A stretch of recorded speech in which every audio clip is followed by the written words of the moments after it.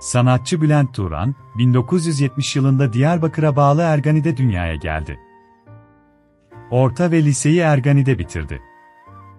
Müziğe küçük yaşlarda ilgi duydu. 6 yaşında babasının kendisine aldığı mandolinle müziğe ilgisi daha çok arttı. Gülcan Kurnaz, Sevda Eldemir Tarık ve Mehmet Emin Kaya ile birlikte 1994 yılında Mezopotamya Kültür Merkezi bünyesinde Komar Evşen Müzik grubunu oluşturdular. Kürt müzikseverler onu daha çok 1997 yılında Komar Evşen tarafından çıkarılan Çiyaye Bezar adlı albüm ile tanıdılar. Bülent Turan, 1998 yılında müzik çalışmalarını İstanbul MKM bünyesinde sürdürdü.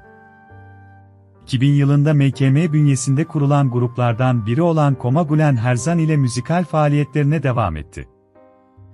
2003 yılından itibaren, müzikal çalışmalarını tek başına sürdüren Turan, 2006 yılında ilk solo albümü olan Amede'yi çıkardı.